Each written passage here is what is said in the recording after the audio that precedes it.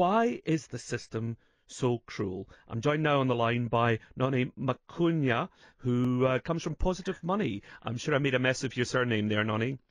That's all right, John. Um, my name's Noni Makuyana. Thanks for having me. Thank you for joining us. Uh, as an MP, I came across this all the time: the cruelty of the benefit system. Uh, did mm. I mm-hmm. did I explain the sanctions system fairly there?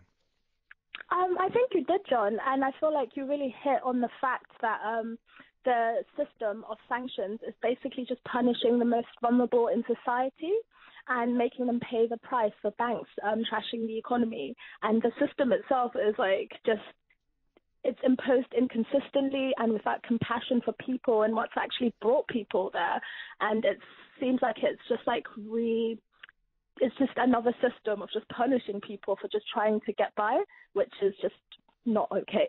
Now, the Department for Work and Pensions, for people who don't know what select committees are, they're groups of MPs across the party system, so the SNP, Labour and Tory people all sitting uh, together and they hold the relevant department to account.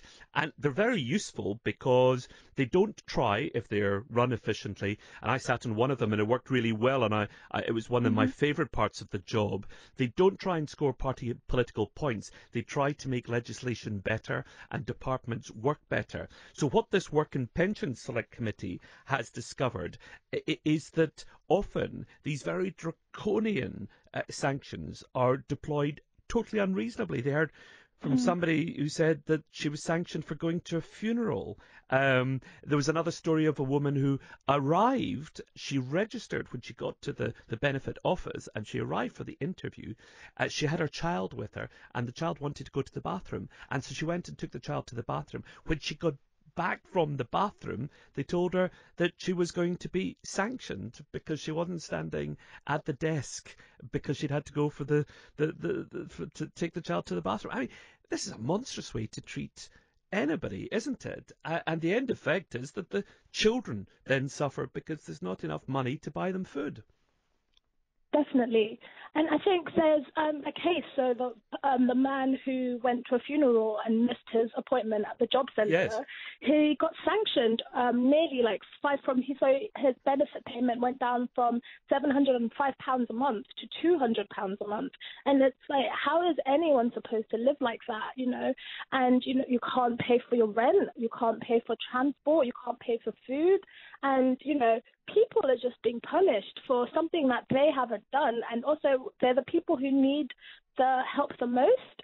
And like this form of punishment, which is just like, you know, as you said, is like just applied inconsistently and without any compassion and sort of understanding of why people may not have been able to attend. And it just, it seems awful. And I, would you know, I was, when I was preparing for this, I was thinking about how, you know, banks basically through like reckless and irresponsible um, behavior ruined our economy, and they have not been penalised as much as actual people are being penalised. Now, so, you know, now you know. Now um, let me play devil's advocate for a moment because you mm-hmm. know what the department itself said. The DWP said that sanctions were only used in a minority of cases, and a lot of people would say that there's you know there's a minority of people who are on benefits who behave in a chaotic and dysfunctional way, don't turn up for interviews, or hours and hours late, and the system can't function if people don't turn up on time. And so, you know, you've got to impose rules and say you have to be there at a certain time. If you don't turn up on time, there are sanctions. Otherwise, the system couldn't function. Mm. I firstly want to point out that I think a system based on punishing people is just never a good system.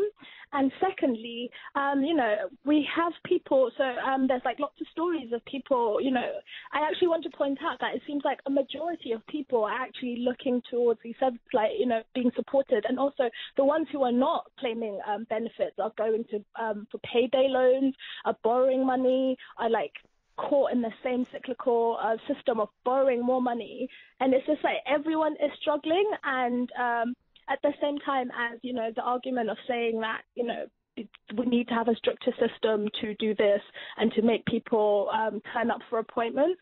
We're not really realizing that, especially as you've mentioned earlier, like some of these people are people with kids who are struggling to find um, childcare. And I, I feel like this, the issue here is that we have one rule for banks and one rule for society. Banks are responsible, uh, irresponsible, are reckless, and are just do not care about society. I don't see them being punished as much as these people are being punished. Um,